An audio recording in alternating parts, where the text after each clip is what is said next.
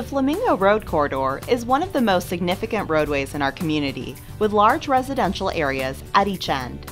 In the center of it all is the Las Vegas Strip. Flamingo Road has the most heavily used residential transit route, with more than 12,000 customers a day.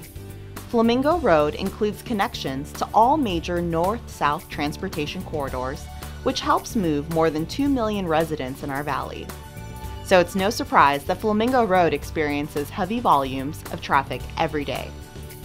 To improve traffic flow and pedestrian safety, the RTC has undertaken a massive project that will provide a number of enhancements along Flamingo Road.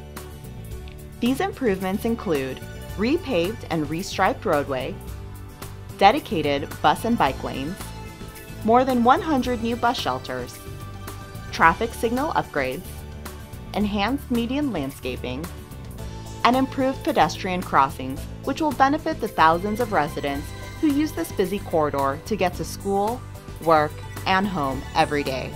Family and locally owned for almost 50 years. This location's been here since uh, 1979. There's been a lot of changes in the area.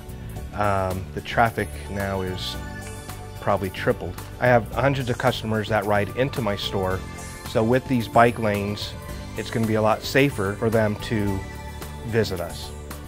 The project, funded in part through fuel revenue indexing, has created more than 168 jobs for our local community.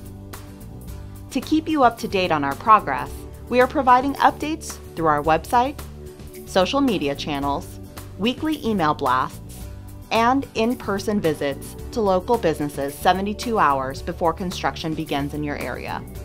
Construction on the $44 million project started in spring 2015 and will continue through the fall of 2016.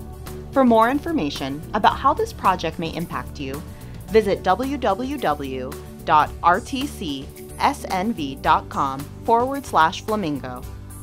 We thank you for your cooperation and patience as we work to improve this busy corridor.